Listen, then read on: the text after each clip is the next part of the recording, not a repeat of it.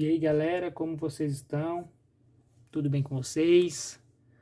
Dando continuidade aqui aos nossos reviews da coleção Street Fighter da Planeta de Agostini Trazendo pela primeira vez aqui um personagem do sexo feminino Que é a Chun-Li, tá? Essa é a edição de número 5, tá bom? Vamos dar uma olhada aqui na revista Chun-Li o braço armado da lei, contando um pouco a história da Chun-Li aqui. Aqui falando um pouco sobre as descrições dela, altura, peso. O peso aqui não está revelado.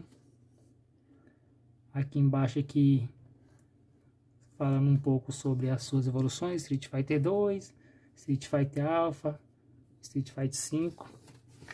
Beleza? Vamos olhar o pôster. Caramba, bem legal. Muito bem feito, os detalhes estão tá muito bem caprichado. É isso aí, vamos dar, dar continuidade. Aqui seguindo os mesmos moldes das outras revistas. Falando sobre as técnicas e a capacidade do personagem, alguns golpes aqui que ela utiliza no jogo.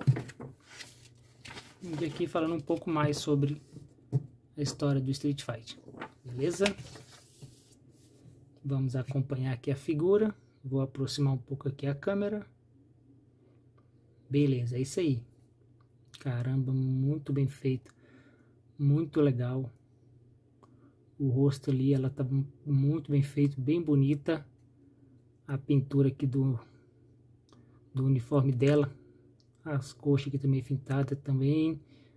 Os detalhes aqui da bota, né? O cadastro.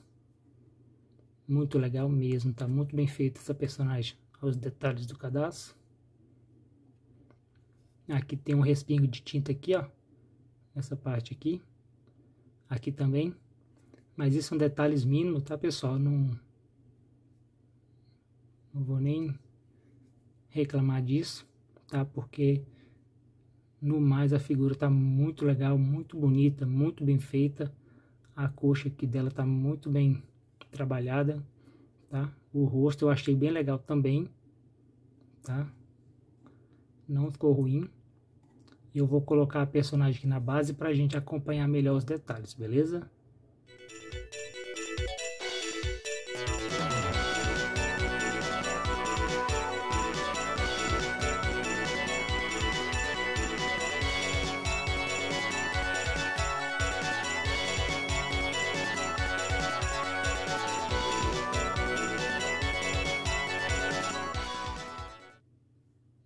É isso aí, galera. Finalizamos aqui a edição número 5 da coleção Street Fighter da Planeta de Agostini, trazendo a personagem Chun-Li.